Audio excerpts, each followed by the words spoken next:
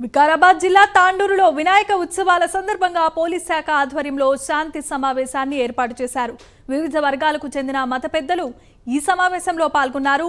వినాయక నవరాత్రులను నిమజ్జనాన్ని ఎటువంటి అవాంఛనీయ సంఘటనలు తావివ్వకుండా శాంతియుత వాతావరణంలో నిర్వహించుకోవాలని జిల్లా ఎస్పీ కోటిరెడ్డి సూచించారు.